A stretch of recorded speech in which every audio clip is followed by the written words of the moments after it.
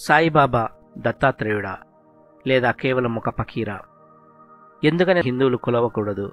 ఇన్ని రోజులు లేనటువంటి ఈ అంశాలు ఎందుకు ఇప్పుడు తెరపైకి వస్తున్నాయి? ఎందుకని సాయిబాబాను విమర్శించేవారు ఎక్కువ అవుతున్నారు అసలు సాయిబాబా దత్తాత్రేయుడైనా కాదా? దత్తాత్రేయుడైతే దానికి ఆధారాలేంటి? అసలు దత్తాత్రేయుడు ఎవరు? సాయిబాబాని దత్తాత్రేయుడు అని ఎందుకంటారు? అనేది ఈ సిరీస్లో నేను చూపించబోతున్నాను. So friends welcome to Vijayahasam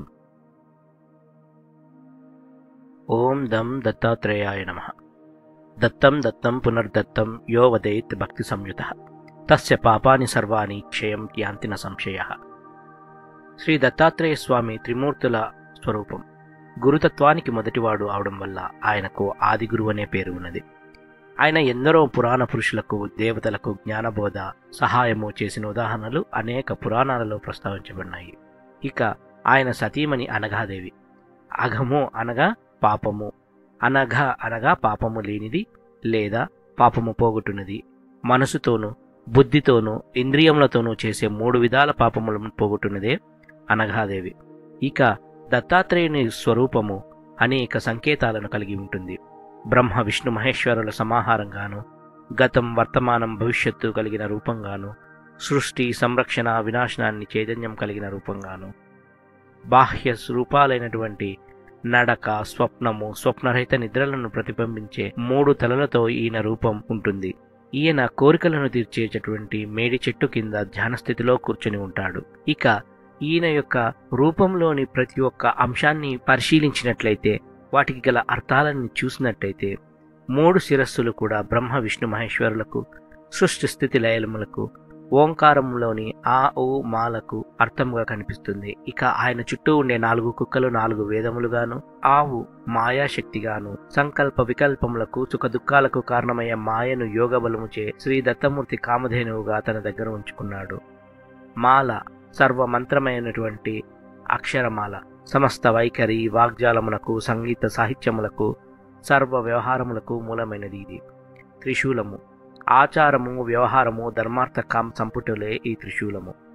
అవిద్య నాశకము ఆత్మావలోకన సామర్థ్యము వివేకమును కలగజేయుట అన్నది చక్రమునకు ప్రతిబింబంగా చూపుకోవచ్చు.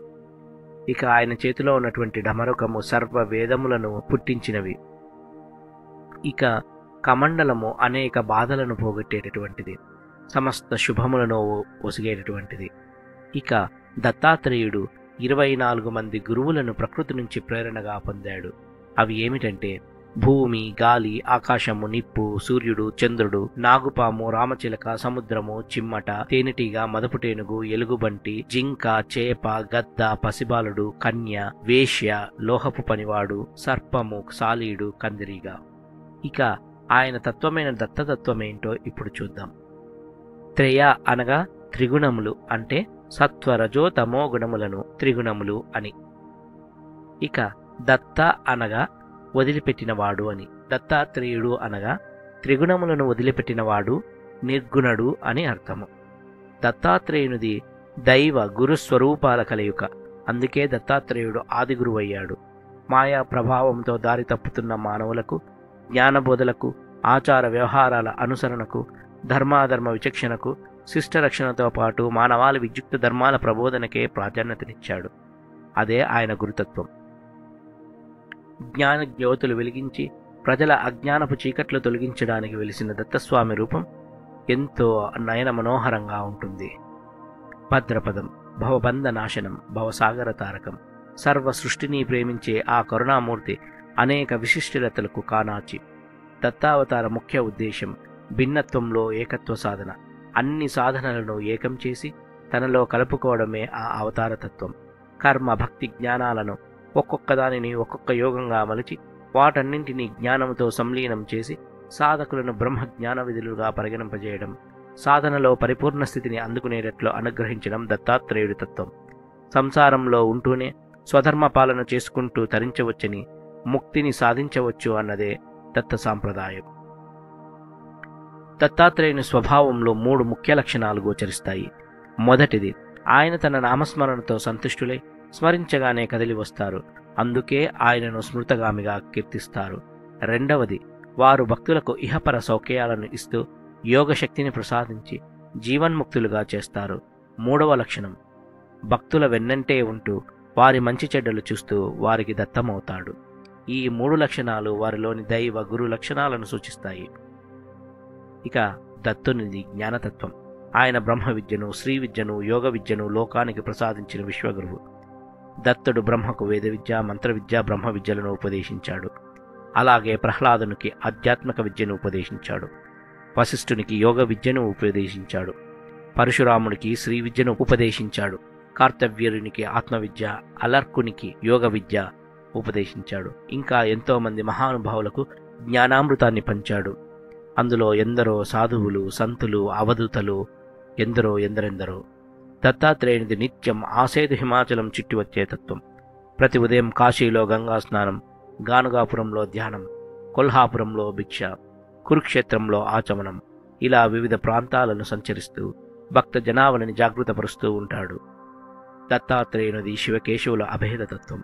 జ్ఞానం కోసం పరమేశ్వరుని మోక్షం కోసం విష్ణువుని ప్రార్థించి పూజా పురస్కారాలు లేనిటువంటి బ్రహ్మతో కలిసి బ్రహ్మ విష్ణువుల రూపముతో వెలిసి దత్తాత్రేయ అవతారం భూమిపైకి వచ్చినది శైవం వైష్ణవం వేర్వేరు కాదని రెండు ఒకటేనని తెలిపేదే దత్తతత్వం. దత్తుణ్ణి పూజిస్తే మోక్షం జ్ఞానం ఒకేసారి పొందవచ్చు. ఇక దత్తావతారాల విశిష్టత ఏమిటంటే వీరి భౌతిక దేహాలు అంతమైన వీరి ఉనికికి భంగం రాదు. దేహంతో ఉన్నప్పుడు కూడా వీరు ఆపదలో ఉన్నవారిని అనేక విధాలుగా కాపాడుతారు.